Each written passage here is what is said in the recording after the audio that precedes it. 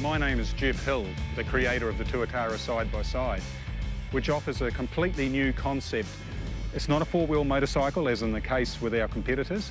It's a purpose-built motor vehicle which is designed primarily for off-road use, but it can be registered and warranted for the road.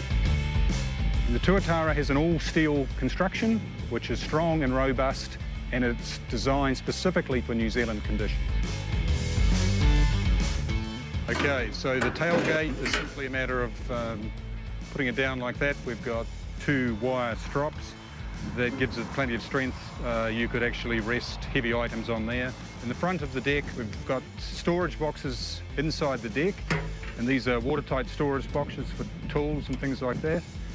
They're on either side of the engine. And we've got an engine cover here that gives us access to the engine. Uh, you can check the oil or just having a quick look at the engine to make sure that there aren't any loose connections or anything like that.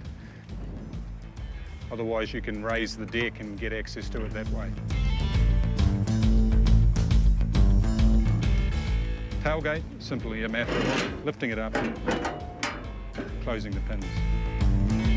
Now the Tuatara is also fitted with a snorkel which means that the air intake is above the water level, but also it brings the air intake level above dust levels, such as the dust that's thrown off wheels. So it means that the air to the engine is, is generally much cleaner than it would be otherwise.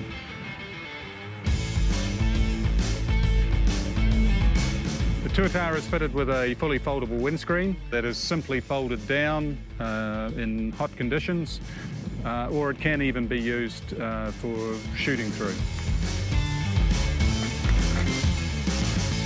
Uh, we have a front-mounted winch on the vehicle, which is designed for retracting the vehicle in the event that it becomes bogged. The Tuatara is fitted with a powerful four-cylinder petrol engine, which is extremely quiet, extremely reliable, and extremely fuel efficient.